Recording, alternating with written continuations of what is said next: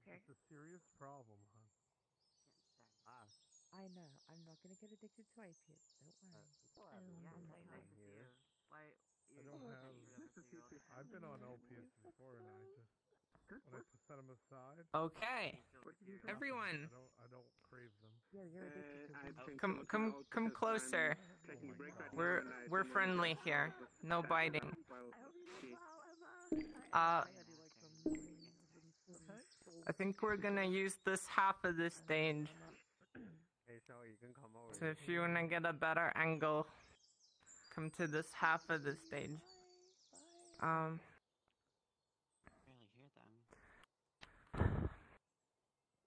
we're gonna be talking about neurodiversity.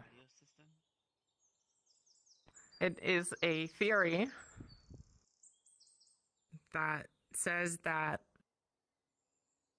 everybody's brain is different. Like, um, physically, genetically. Everybody's heard, like, oh, genetics, you makes your body a little different and that such, but uh, it also makes the brain different. That's not a good line. Let's do that again. The idea is that there's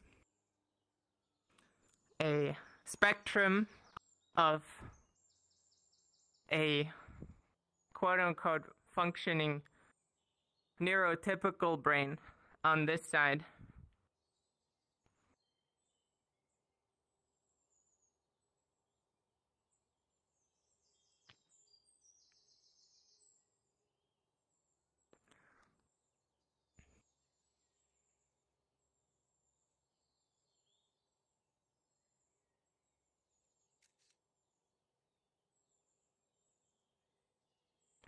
And this is the entire population of the world, the theory states. So this is 8 8 billion people. Someone's here and someone's here and someone's here. Uh in a graph idea like this, there's a average point right here. It's about one third of the way in that's gonna be the average person right somewhere between there. But as you can see the average doesn't count for everybody. Neurodiversity uh, used to be uh, only diagnosed. And that would be uh, somewhere somewhere between here, another third down, and anything beyond that.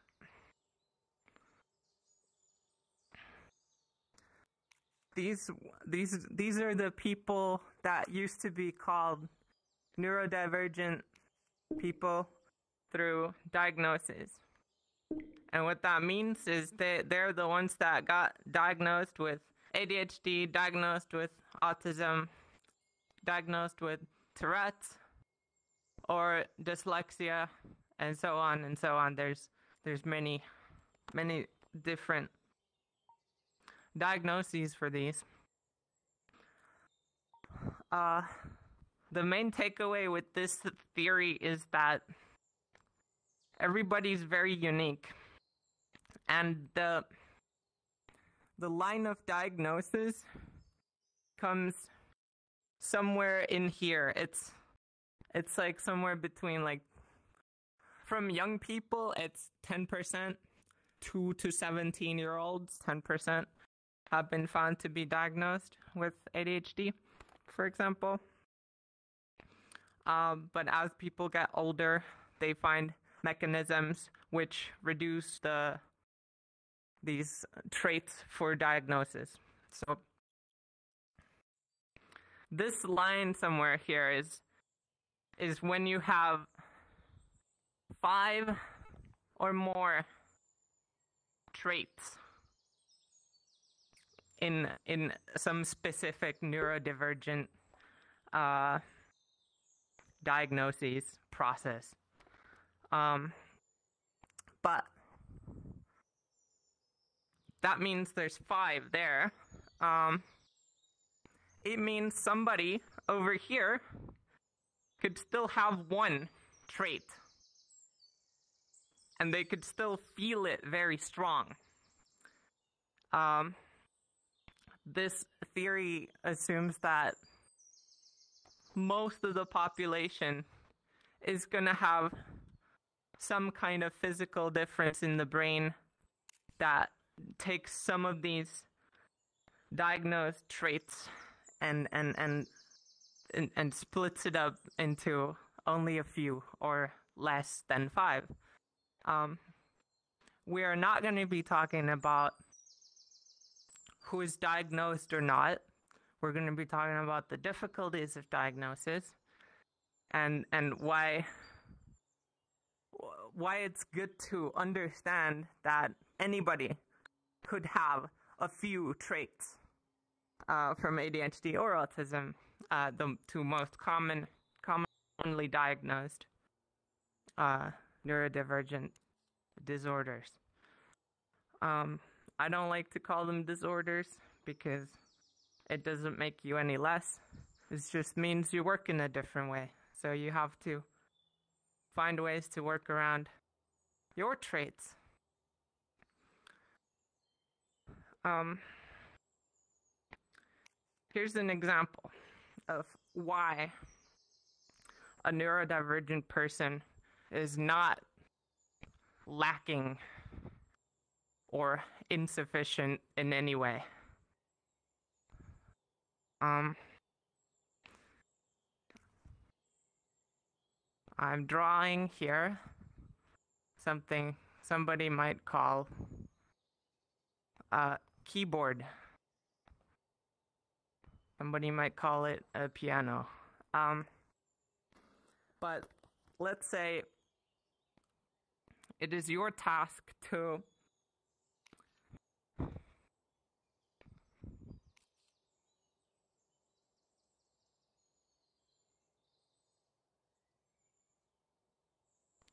name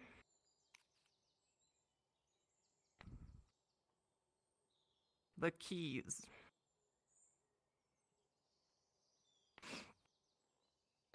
It's your task to name the keys. Now, if you're in music class, most commonly you would expect to be naming them something like C, D, E, F, G, and so on. I don't actually know music theory. This is probably wrong, but but here's what a neurodivergent person might read. Name the keys. Joe, John, Emily,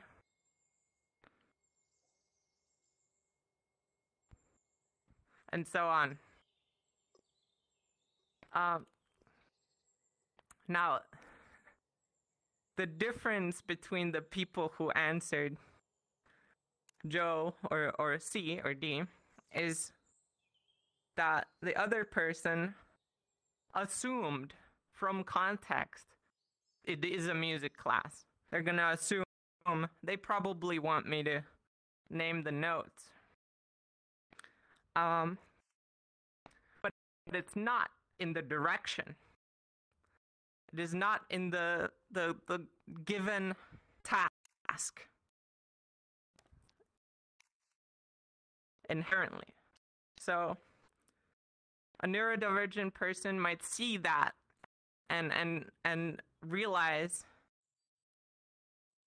that's not the question. It doesn't say to to name the notes of the keys. It, it says to name the keys. It's it's very simple, very obvious. Like that's that's how it works. Name the keys. Um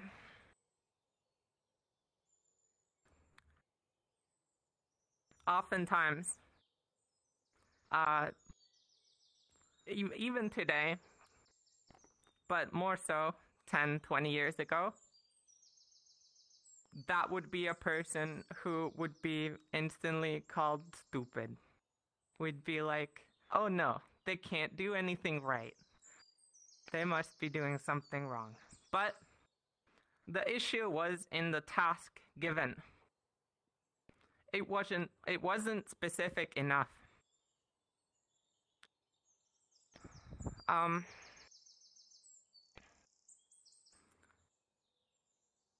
and and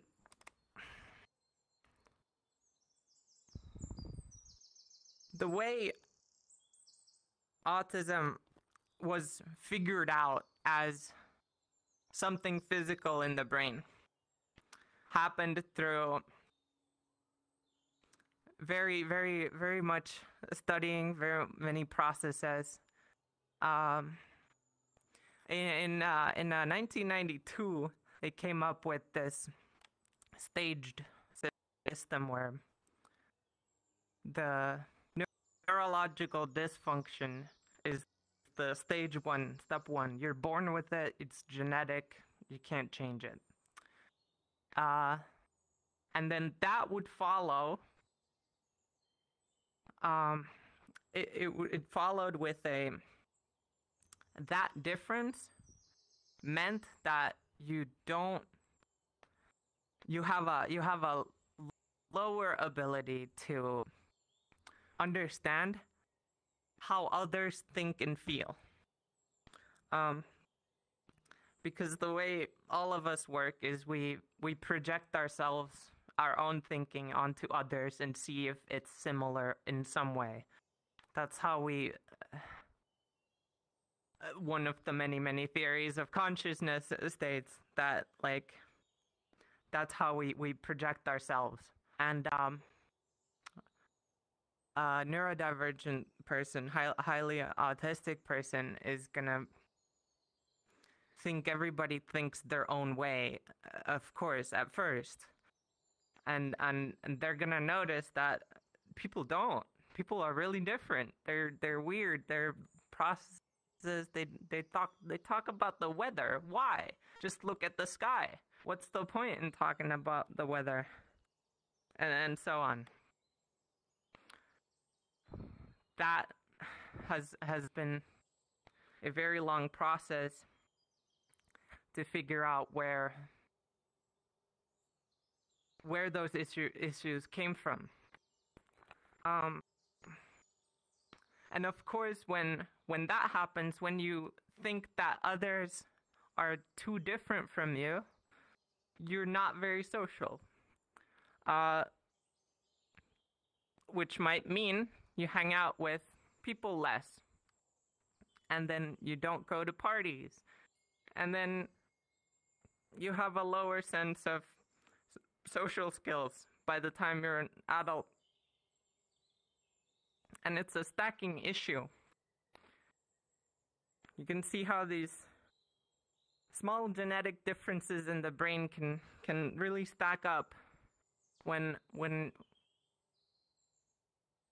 you don't like a person, you don't like most people, you're going to shy away from people and then that's going to cause you to have less experience with people, which is going to cause you to run into even more social troubles when talking with other people. Uh, very, very tough. That little bit was about autism. Again, one of the traits. You need five to get diagnosed. Um, if you're not diagnosed and you're thinking that sounds like me, it's very possible that you have that trait like I showed earlier, the the the population graph. It's it's very it's a lot of people. Anybody could end up anywhere, and and then there's there have been a lot of uh, studies that have shown overrepresentation of these traits and diagnoses in certain groups of people, like poor people. Um, here in Finland, where I am, uh, 50 to 60% of uh, people who are, are not working have ADHD. That is not the whole population. Nowhere near as much, right? It, it's five times more than the normal population. And and we try to figure out why that is. And it turns out it's because of these stacking issues. With you start with you, you spawn with a brain and then it it tells you to do things differently and it doesn't take you on the same path as many others. Um let's talk a little bit about ADHD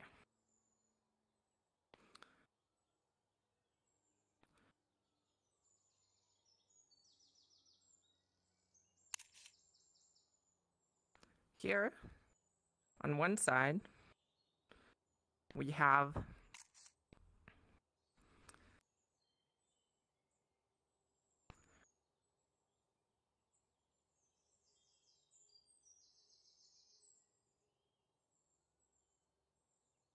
the dreamer type. And here we have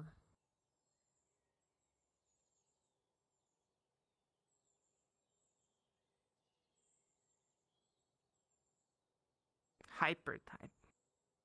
Oh, also, I forgot. There's pens. There's a stack of pens back there. Anybody can grab one and doodle as they want to. Make yourself comfortable if you want to doodle and stuff. Um, grab a pen and, and go ahead and do it. And also, if you think of any questions throughout, uh, you can write your question down in front of you and I'll come look around after and answer those. Um, there's there's generally uh, two types of ADHD on a spectrum. Like everything else, you can have both types. You can have you can have mostly dreamer, mostly hyper or or or 20% hyper and 80% dreamer and so on. Now, the differences between these ones is these guys are stealthy. They usually don't get diagnosed cuz they know what's up. They're to get me. If I act different, they might find out I'm different. So the the way the dreamer thinks is there's an action uh, like saying hi. Uh, if I say hi, how are they to respond? The dreamer is to think about three different options or more or less about how somebody is to react to me saying hi. Now, then there's going to be two more options. And this is before you even said hi. Uh, the dreamer ADHD types are very, very quick thinkers. Uh, they they might come up with um five different options for a, a dialogue with someone, and they're gonna have that process thought out pretty far. Um, this is my type, by the way. Hi, I'm a dreamer type ADHD. I have a. It's a. It's kind of like um. It's really difficult to pick one sometimes because maybe because of your experiences, you might predict somebody to be mean. So you're very quickly just thinking like, "Oh, I can't say anything. I can't say anything. This is going to be wrong. Everything is going to be wrong." And let's say you do pick a path and then your prediction is wrong. Well, now you're going to panic. It's like I wasn't prepared for this. it's going to be a little bit of a social panic at that point. and then you're gonna think of like, oh, maybe I should quiet down. Maybe I shouldn't have said anything, and and there's a there's a snowball effect that can start from that that um builds up anxiety because you're thinking now you did something wrong now something else is going wrong everything's going wrong i started it and this is all in the head uh meanwhile someone hyper is just quickly gonna do the thing. They're much more impulsive. Um, they're gonna do the thing, and then they're gonna notice something went wrong. And then they're gonna do another thing, and something might have gone wrong again.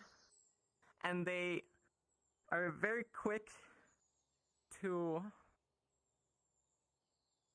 say anything, say the first thing that comes to their head.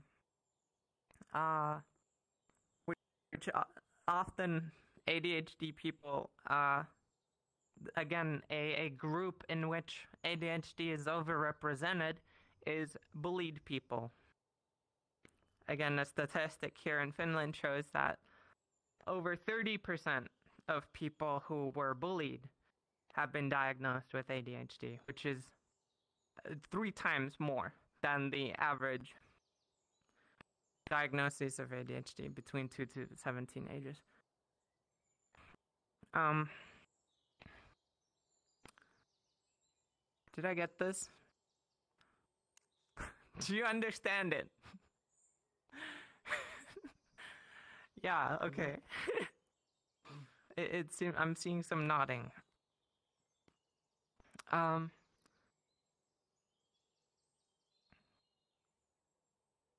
Let me see my notes. Um. Oh yeah, memory. Memory is gonna be bad with the hyper one. They can't remember things. They're on to the next topic before you notice. Um. Again, we're not talking about the diagnosis of ADHD. These are traits eh, that are found in ADHD. Um. Usually, uh, someone diagnosed would land somewhere between these two uh, the hyper or the dreamer. Uh, the dreamer spends a lot of time in their head. And hyper spends a lot of time being impulsive. Uh, they are usually the ones diagnosed because they show it much more than others then the the dreamer types realize that oh I shouldn't act that way because then I'll get um detention. I'll get detention. And the hyper doesn't think that far. they just think very quickly.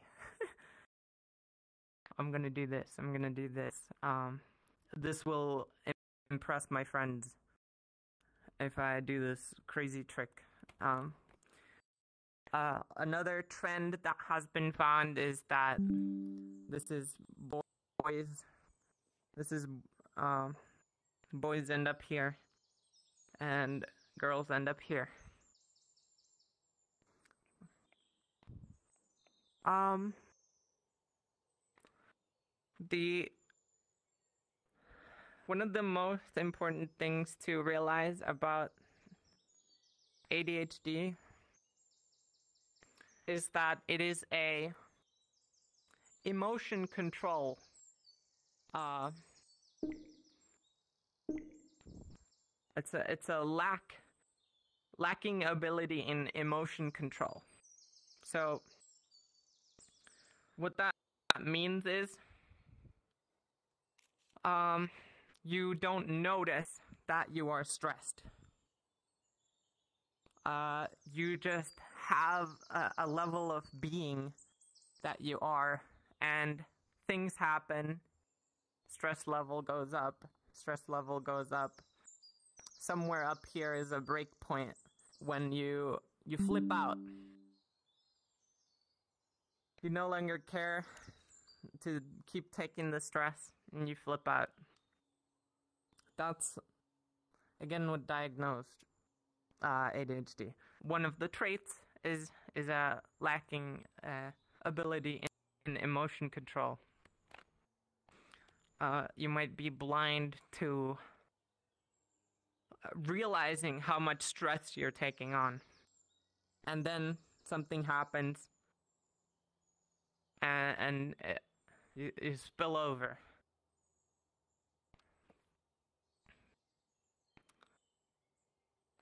Uh, another trait. We're going to get back to how we're dealing with these traits um, at, at the end. Here's a example for a trait uh, called context blindness. This one is very hard to figure out in in people. Um, also, I forgot to introduce myself. I'm I'm a I'm a soon to be second year student in uh, social services in Finland. Um, so all this information is from my classes about special needs uh, children and special needs clients. Uh, it is for us to figure out how to spot people that have these traits uh, so that we can address them uh, in a correct way.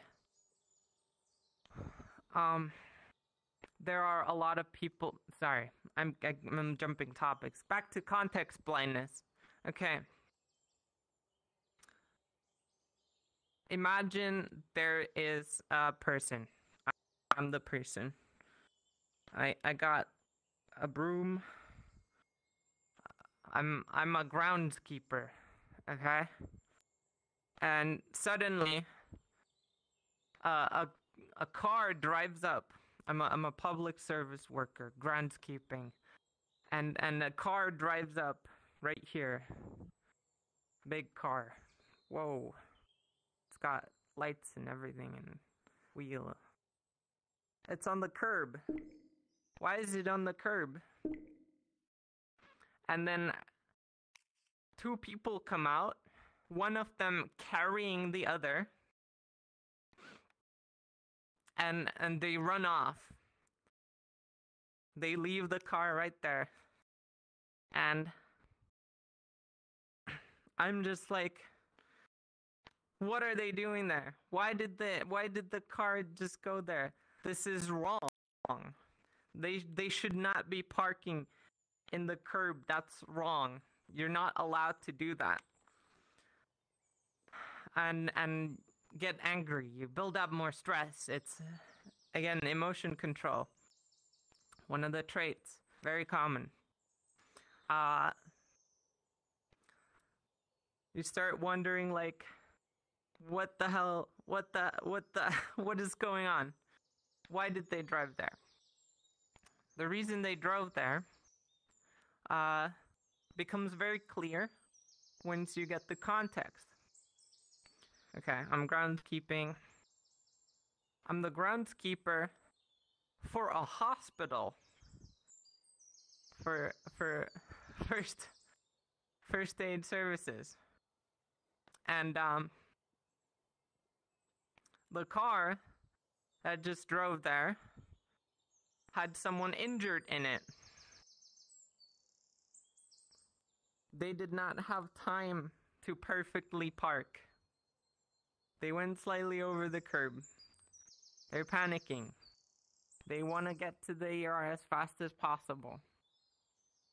Um. Now this this groundskeeper person might get really mad at them, yell at them for parking there and everything, but as we understand from the context, that's fine. It's gonna get handled anyway. There's no reason to stress over it. Um, but that is that is one of the traits um, that are found in the diagnoses of autism. Um, again, if this seems familiar, that you uh, another situation might be. Uh, this is from a kindergarten. There's there's two people playing a game. It's called Swap Your Shoes. They swap their shoes. Then the game ends. And they give one shoe back but keep the other shoe. And then a fight happens. They they start pushing each other. Give me my other shoe back.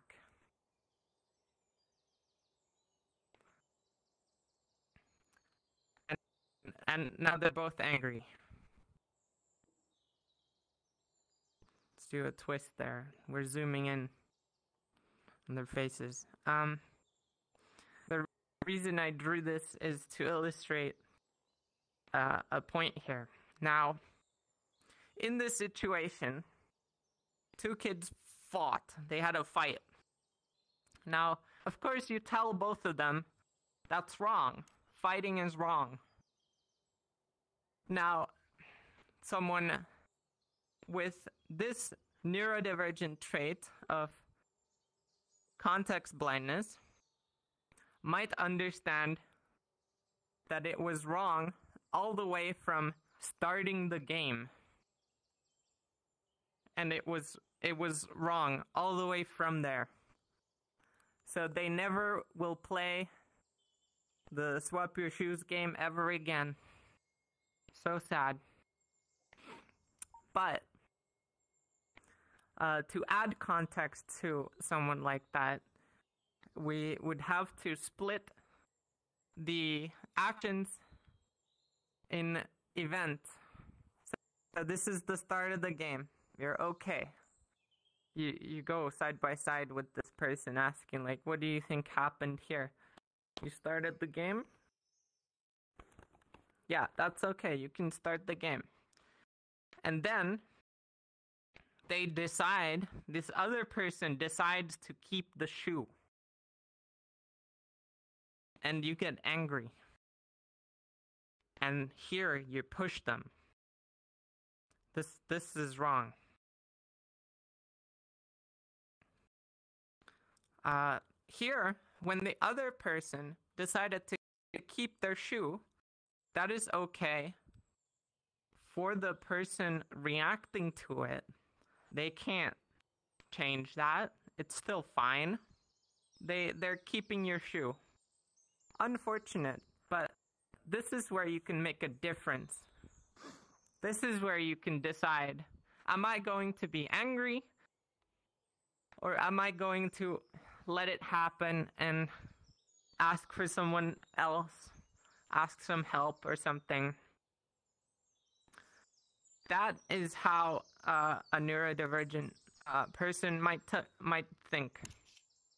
They might might have thought that this whole thing was wrong if they're told that what they did was wrong.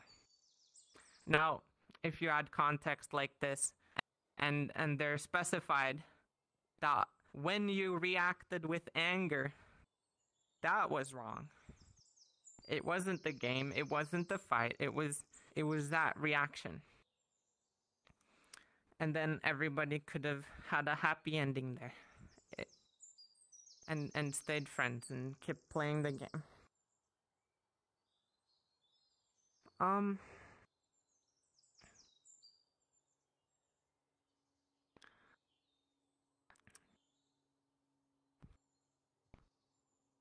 Another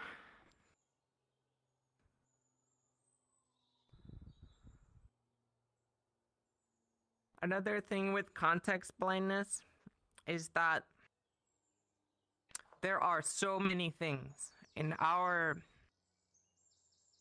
society and our expectations that assume a lot of context without realizing it.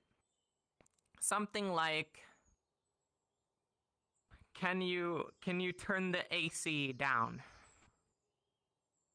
Um if somebody's never been in a house with AC, they don't know how to turn it down. you can't just say turn down the AC. Um you have to say how to. You have to give them step by step instructions on how to. So it's on the wall, it's a little dial. You turn the dial, make it say like 70 maybe if if you're feeling cool that day. Um.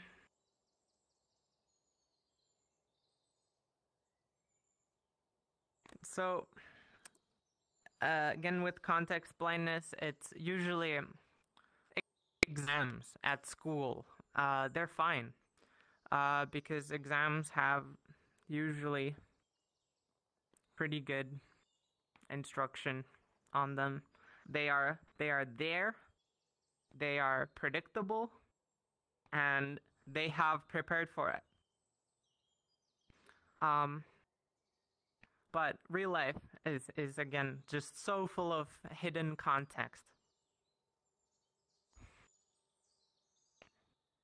Um uh, someone with context blindness will very uh, will give very strong um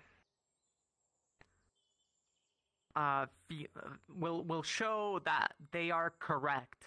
They will say that they parked the car on the curb. That is wrong. And it's very hard to start arguing with them. Well they are at you're at a hospital. They had to park there quickly. Uh they they are correct. They feel like they're correct because that's all they see is the the wrong parking that happened. As well as uh, that that can that can show up. Everything everything i'm talking about is such a big um a spectrum. So uh, one of the smaller ways context blindness can show up is in in in the uh, in like um arguments. Uh, someone with context blindness might say that, well, this is how things are, and and that's that's that. That's very simple. For for like let's say a pol- political topic, they might say that some something awful about trans people, and their their context for it is very streamlined. They're they're gonna be this thing leads to this thing leads to this thing. But the reality of the situation, reality of all all politics is that there's there's society, then there's family, then there's how you grew up, then there's everything you learned along the way, any relationships you had, everything, all of that. It's so complicated. And then you have the opinion. But oftentimes it's it's so simple for these context blind people to to to just this is how it is this is it. I'm I'm right. And uh, without understanding the complexity of the topics at hand. Um, that one I think, uh, not that I think I know that one context blindness is again a very common trait of neurodiversity. Not something that is specifically diagnosed on its own, something that is one of the traits in autism. Um,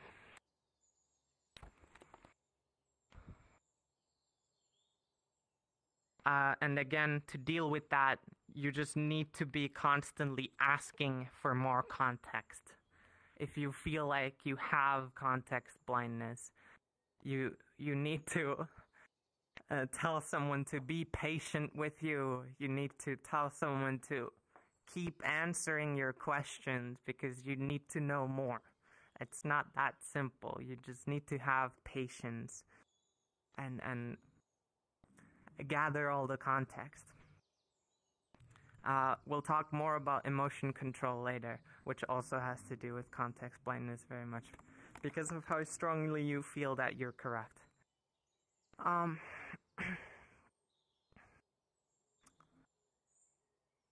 uh, again, very important to note when you meet someone diagnosed, uh, you've only met one person who's diagnosed. You cannot say that, oh, I knew an autistic person once to another autistic person and have that autistic person feel like you understand them. Because that's a different autistic person. There's no way you know them. um, everybody's very, very unique. And, and everyone diagnosed is extra unique. This makes them very special. I love them. Um, another common trait is synesthesia.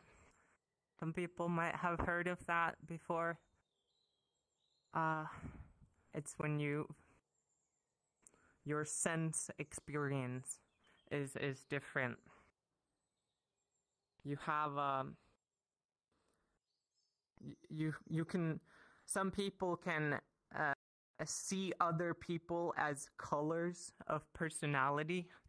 Some people can hear music and taste something. Um this is a totally unique experience. I have no idea about feeling how that feels like. It sounds really wacky. uh, and cool. Um, oh, another quick thing about dreamer type ADHD they usually also dream. they have dreams, usually. Very, very, very, very commonly. They, they also dream a lot. Um, is that Lena have a question? Mm-hmm. So between the dreamer type and the hyper type of ADHD, is what you drew there, is that also a spectrum based on the ADHD Yes. spectrum already? Yes, everything is a spectrum. Mm, Everybody's so unique much. that we cannot have Mm. uh, categories. From someone who has ADHD, and I notice part of what I do is hyper, but sometimes I end up slightly in the dreamer category, trying to figure out what to do next and how people. It's both. you can have both. You can uh, imagine it like this is how much dreamer you have, and Mhm.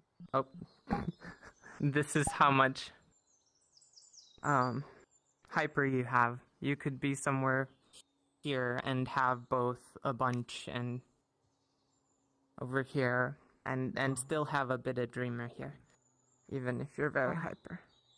Uh, very much a spectrum. everything's so unique. And um, there's another another source that has identified seven different types of ADHD that still fall within those, but to be more specific, they they they they're doing brain scans. They they have that's how they have identified different areas of the brain activity going off and and so on. Uh, that's how they made seven categories out of that. But we're talking about traits. So, uh, uh, auti- autistic people usually they they have another common trait called masking or or scripting. That means when you when when they enter a space, let's say a workplace, they are not being themselves there. They know how to be there, so they run a script. They they enter work mode. Um, uh, a lot of people have this different mode. Uh, it's not not to say that again none of this says that if you have this trait or that trait or all of the traits it doesn't mean you need to have a diagnosis or anything the only point of a diagnosis is to get help to to figure it out um and if you have these traits um, you can Google different sources. Um, now that now that you know that um, hyper and dreamer ADHD are different, you could Google like, oh, I have a, I I I overthink. That's that's one of the dreamer type. That's a that's a more common term. Uh, overthinking is what dreamer types do a lot. Um, overthinking can happen even if you don't have the dreamer type ADHD. It's all all a very very big spectrum of everything. Um, traits. Uh, special interests. Another common trait. Really falling into one topic. Uh, accounting accounting uh data management all that stuff is is usually very uh it, it it's a neurodivergent friendly space uh when somebody is really into one of those things they they lo- love to do it and they do it very well they're usually also much better than the average worker in those spaces because it's truly their interest in in doing numbers or gathering data and making beautiful sheets of statistics and everything. Uh I'm nothing like that as you can see I didn't bring any any boards or anything. I don't I'm not really good at making visuals. Um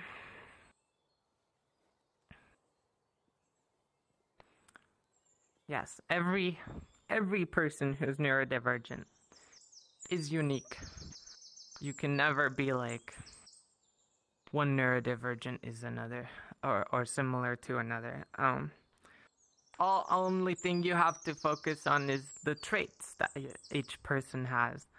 Um because there are so many different types of diagnosed autistic and ADHD people, they are very very different and we we don't have a one solution for all. Uh then we're going to talk about sensory overload. Um this is a this is a trait of hypersensitivity. Um again, a spectrum.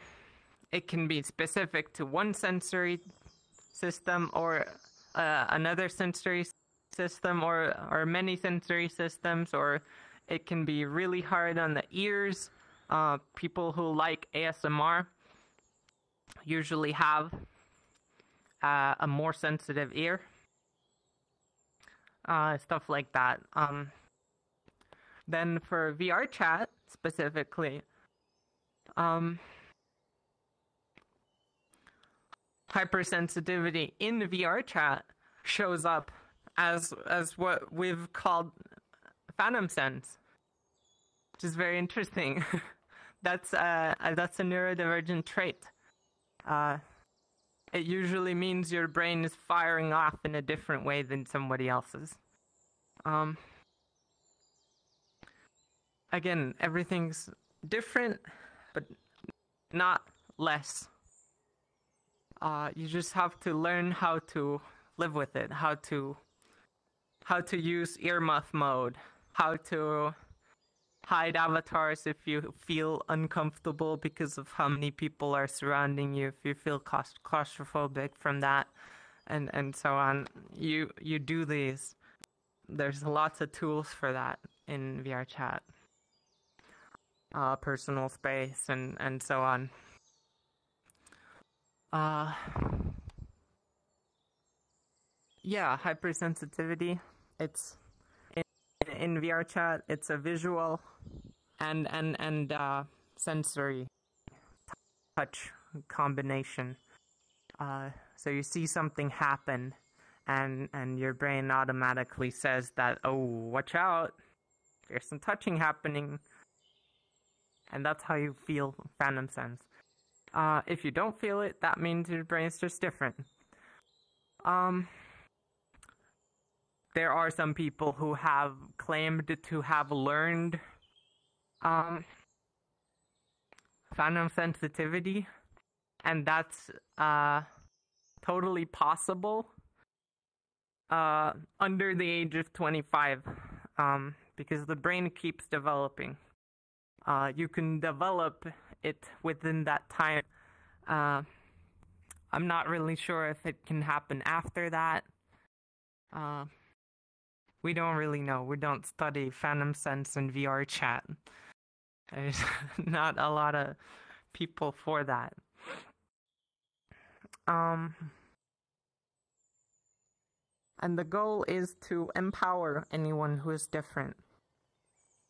It is empowerment. It is to let them know that they are capable. Even if you have anger issues, you you constantly feel like you don't belong in a group. You have to know that it's it's not you. It's not your fault. There it's no one's fault. It's it's a circumstance.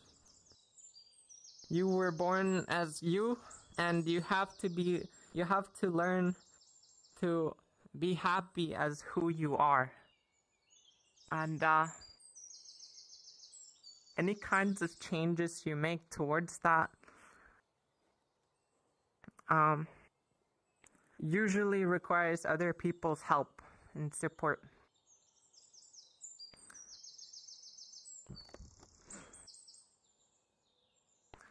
Um, then we're gonna go over the the most important tool for stress management. This goes for everyone, not just neurodivergent people. Everyone should be using this because you don't know if it might help or not. This is a, a concept called the stress cup. There's a tap there.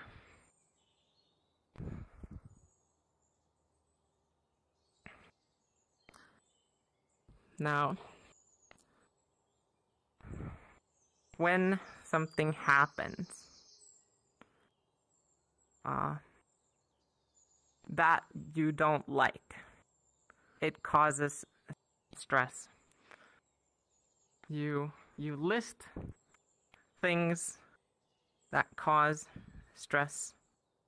You list things that make this surface go up. This is a, a, a, a mug, a stress cup, and the liquid that goes in it is stress. as as a as a as a liquid, you can visualize it in this way. Um, the way you use this tool is you note down things you notice or remember making you feel stressed. Uh, let's say it's people, generally, just people make you stressed. I don't know how to write anymore. I'm a little tired. it's past my bedtime. I'm staying up for this. Um, uh, now, then you have to figure out roughly how much that is. Uh, so you can kind of get a sense of if I have to deal with people for uh, four hours of my day because of my job, my stress level's gonna be somewhere up here. And then, when you come home,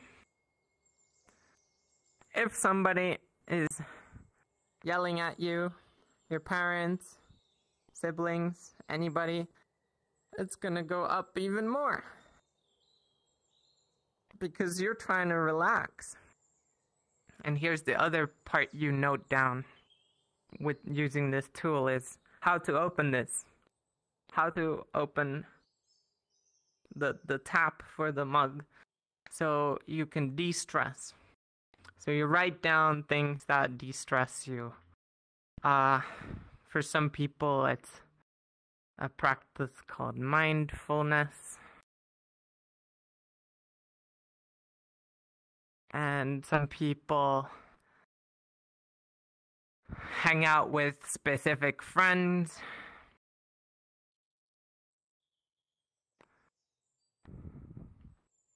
Movies.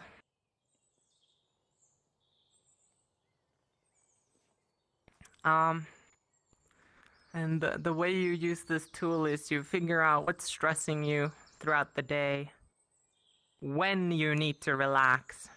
And this is a daily process. Um, this is how much stress you can gather in a day. If it ever spills over, that's the emotion control that you're lacking. If you get yelled at at home, you're gonna yell back. You're gonna smash the door closed. You're gonna say, Get away from me. I don't need this right now. Uh, because you've been overstressed. Uh, it is it is a neurodivergent trait to have trouble telling where your stress levels are throughout the day. So, uh, for me, I'm I'm confused sometimes when I'm I notice myself tapping my leg or biting my nails. Uh, I'm just like, what even happened? And then I, I try to think back on my day and I notice, oh, I'm way up here. Some stressful stuff happened. And sometimes it can be the other way around. Like, if you do too many movies, if you spend the whole day watching movies, it might flip back around and and close the tap and start filling it up again. This is a very careful thing you have to notice, like when when something is stressing you out more, and and when it's working. When are you actually being de-stressed? When when can you actually relax? Uh, a lot of this has to do with the environment you're in. If if you have a family that keeps yelling and arguing, um, you're you're very unlucky. Um, there's there's then that means you have to spend most of your day emptying the cup so you don't flip out.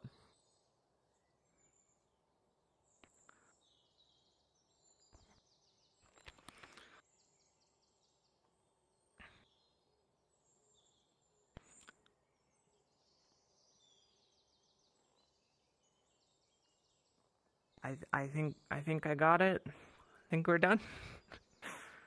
Any questions? Uh, we have a question from the Discord. Can you hear me? I am behind the, the, Yep. the screen. Hi. Um, so the question is, uh, when you were talking about the um, the dreamer kind and, and the the other more impulsive type, is it possible that someone uh, kind of like maybe doesn't have both at the same, uh, but maybe perhaps because of a panic or something like that, they switch between one and the other? Uh, that's a question from the Discord. Yeah. Yeah, so everybody's very unique.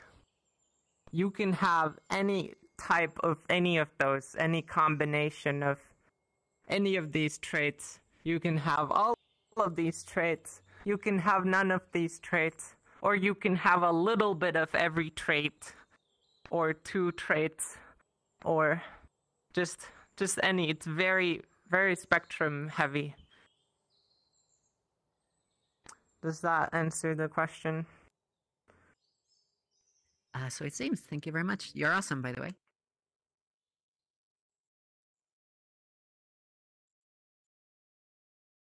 Uh, again, there are pens back there. Um, I would like to ask for everybody to try to write something down that you learned.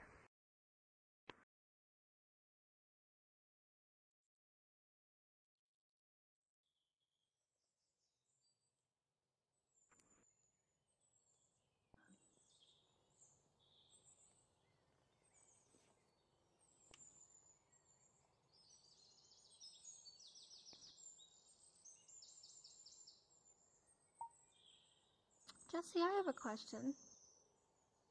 I know recently there have been a, a lot of studies that have been kind of diving into the correlation between gender dysphoria and neurodivergence. Can you speak to that a little bit? So, uh, the way I see it is is this stacking problem. So, if you're born with a a type of brain that makes you feel left out easily, and you're and you're forced to take on a role that doesn't fit you, none of the friends you have are similar to you. Uh, you're gonna feel different. So you're gonna feel like you you need a different friend group, some different people around you, and um, oftentimes because neurodiversity is again overrepresented, the the diagnoses are overrepresented in in trans people. Uh, trans communities end up being more suitable to to your type of friends to your to people who match your thought processes better than than most people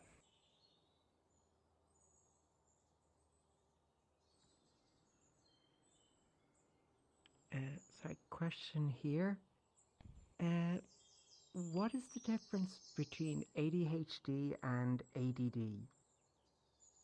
uh, ADD is a deprecated term it is no longer used in the Mm. uh, the diagnoses uh, yeah, terms like when like when I was taught growing up, when I was a kid, like I was thought I had ADD, whatever. So there is no technical difference between ADHD and ADD. Is is it just like Not as you anymore. said, ADD. Okay, so basically, okay. So basically, people with ADD would be considered they have ADHD. Yeah, people with or- ADD look for the same help as people with ADHD. Uh, Thank you very similar much. tools. Uh, Anything, is a spectrum. uh, and again, all the help that you look for has to do with the traits you have. It, it doesn't have to do with autism or ADHD. It has to do with what you have trouble with, what you want help help with. Um, it just so happened that a lot of these really helpful tools are usually labeled like uh, scheduling tips for ADHD people and and so on. Uh, when in reality, it's just scheduling tips uh, for anyone who wants a more visual uh, calendar or something like that. Um, because it's easier to uh, use labels for m- masses of people to to find your content. Thank you. Uh, I guess I have a question. Yeah. Does um, trauma work differently on the ADHD? I mean, on neuro, neurodivergent minds, or about the same, or whatever? Or does it Trauma? like, cope differently? Yeah, trauma, emotional damage, whatever you want to call it.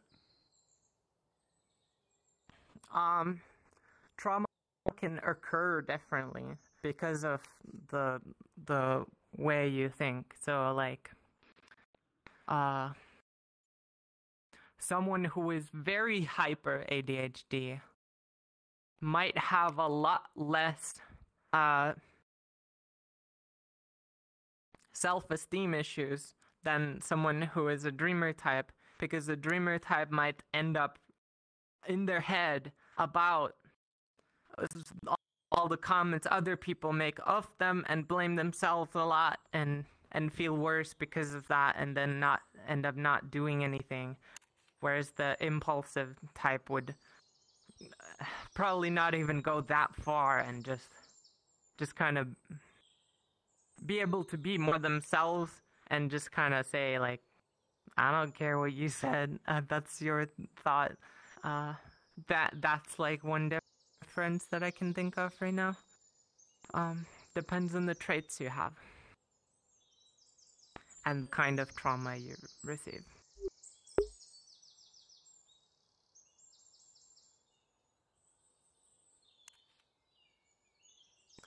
One of the most common traumas for neurodivergent people is um, feeling like you can't do things, um, not being empowered enough throughout your life, not being told that you're capable, uh, just not getting enough compliments.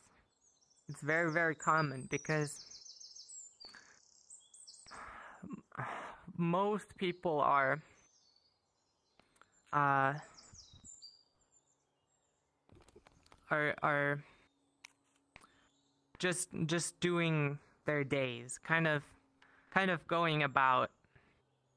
And and and then then they have a friend group. They have uh, i'm talking like middle school. Let's say in middle school there's a, a friend group. They're making jokes. And then uh, someone with uh, neurodivergent trait in in like all these jumping thoughts might have a thought that goes from the third process down the line. Remember the dreamer type with all the processes. You could, a neurodivergent person might suddenly just say this one instead of the first step. And then everyone else is in the group is going to be like, what? That makes no sense you're weird. So that's like one of the theories of of why like ADHD shows up a, much more in in people who were bullied. Uh, it's because they might say something that makes sense in their head, but to everyone else, they they skip the step. so they went straight to the next one.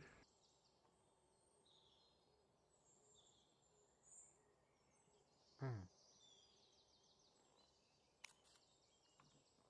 I have a question. Yes. Yeah, that makes a lot. Um, how do you heal from like something like um school um sponsored like ABA therapy? Where you're forced to learn that you're supposed to be a certain way. Uh, yes, being put into a mold uh, is a very terrible thing. Um, no one should ever have to feel like they're being forced uh, to do anything. Um, uh, how to heal from it? Um, uh, well, you're free from that environment now, so so you can pick your own path. Um, I'm sure that can help with being more optimistic, believing in yourself, um, any kinds of empowering comments you get is going to help you. Um, as well as um, just acknowledging more about uh, these traits. So, understanding that you are literally physically different because of genetics. Um, oh, another thing your parents, if, if you have some of these traits, your parents are very likely to also have some of these traits, uh, which might is is also another overrepresented statistic in people people with domestic cases uh, have an overrepresented number of neurodivergent people because of the stress issue. They yell at each other a lot more. They don't know how to handle their stress very well, uh, which end up, ends up with their kids who also have neurodivergent traits to get yelled at even more, and then they lose self esteem and so on. It's a very terrible loop. Um, what we try to do in social service is, uh, and, and teachers uh, teachers are the people who most notice uh, children with neurodivergent traits and get them the, the correct help. Um, again, the, the ways of helping have changed a lot uh, in the past 10 years, even five years. The, the ways of helping. Um, it used to be considered a disorder, which meant that it needs fixing.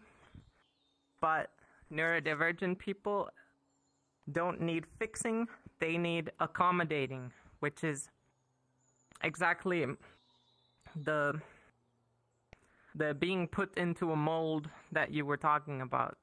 Neurodivergent people need to be allowed to do things their own way. Um,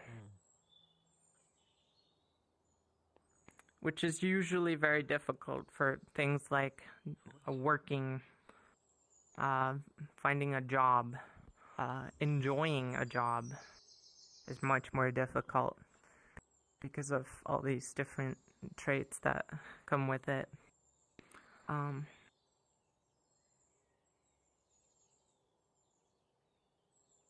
I kind of have a question. Yes. You said that um, the the way we approach these things now changed a lot in the last ten years. Is that also the case for for um, how neurodivergence is being di- diagnosed? Because I was, I, like, my teachers thought I might have. I, I think that term's not supposed to be used anymore, so I'm not going to use it. And so they sent me to a doctor, and that just went horrible. Um, the the way we diagnose has not changed, um, because okay. uh, the people who do diagnoses are psychiatrists. Um, uh, people who would obviously help you more would be uh, therapists um, because they're all about the individual how you work how how you function how your opinions are on things you want to do um, therapy is the best best cure um, as well as any kinds of tools uh, friends who empower you, friends who accept you, as you are. Uh, if you're very impulsive and you end up saying the wrong things all the time and, and you end up feeling bad because you said the wrong things all the time, uh, you need friends who tell you that it's okay. That's okay. You just you just went a little wild. That's fine. um. Uh, the diagnosis, the reason that it's still the same is because um, the process for uh, the medical system to apply and start using a new um, uh, a book for for diagnoses. Uh, right now, there's the DSM-5. Uh, some countries, uh, uh, European countries, use ICD, um, ICD-10, and ICD-11. ICD-11 is uh, a newer, but it's not yet translated to a lot of European languages, and the translations is uh, are are needed for a country with a different language to then uh, start using that, and that takes many, many, many, many years. Uh, countries like Finland, where I am, we use ICD-10, which is uh, made in 1992, and uh, we started using it in 1997. um, it, has a, a diagnosis called uh, transgenderism, which is uh, very ancient.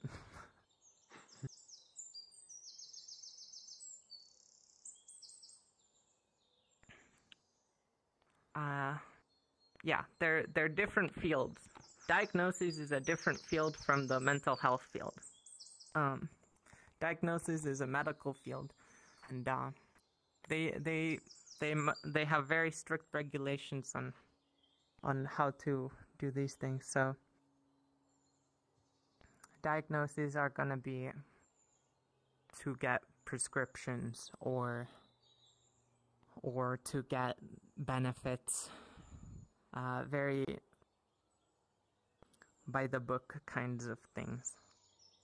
Uh, whereas mental health help uh, any kind of support groups, communities, uh, therapy. It's gonna be more, more towards the, the right direction for anyone neurodivergent.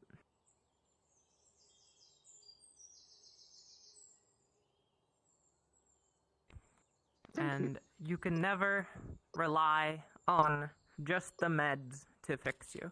You always need therapy by uh, alongside alongside the med. And I feel like that should that I mean always therapy is for everyone. Therapy goes for everyone. Um it uh, just curious, what kind of therapy do you recommend? Like psychodynamic or humanistic approach or is that kind of stuff you're not aware of? Um uh, uh, there's uh, there's an old term called uh, casework that I think is the best one for neurodivergent people. It focuses on your environment, uh, changing changing your environment to your specific needs.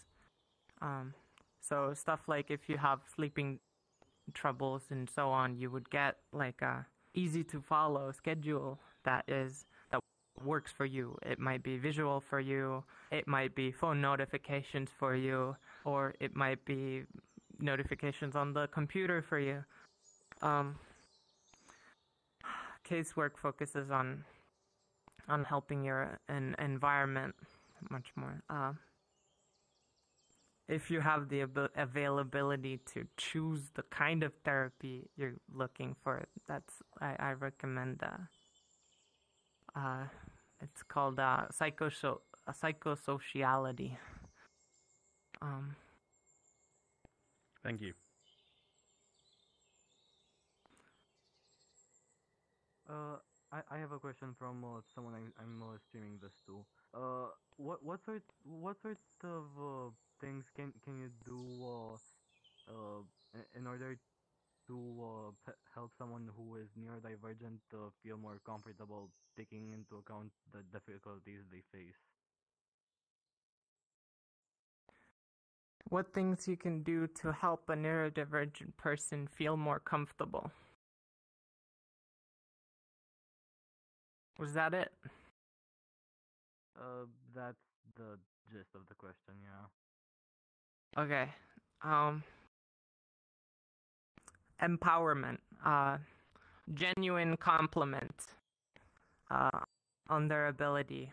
Um there's a concept in in our social work called um uh like um I'm trying to translate it in my head. It's it's like um positive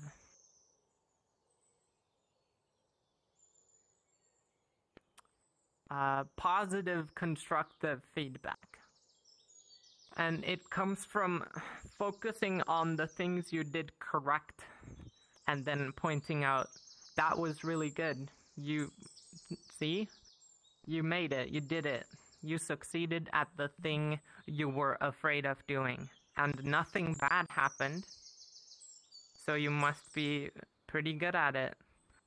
Uh, someone with social anxiety, for example, uh, somebody who's uh, deathly afraid of talking in in VR chat. Uh, you can you can help them to take steps towards talking uh, by letting them talk in a safe space for them. So and then there's a process in the brain that goes like towards one because always this happens. This always happens. Somebody always complains and somebody always says how I sound different, wrong. Uh, so they choose not to trigger that. Now, the more times they do it in a safe environment where nothing wrong happens, nothing terrible happens, it's safe, the more times you do it, re- repeat it, they start to realize maybe it's okay. You know, it only happens sometimes.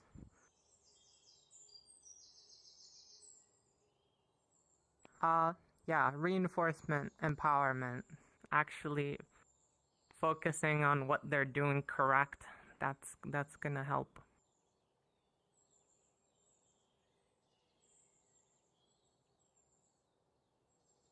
Thank you.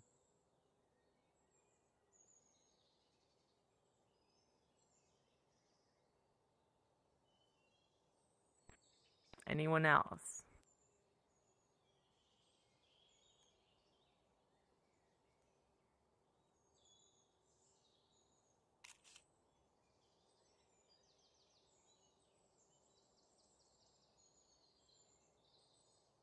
I think we can end it here. Uh, and I'll keep hanging out uh, right here for more questions in private uh, off the stream if you feel more comfortable.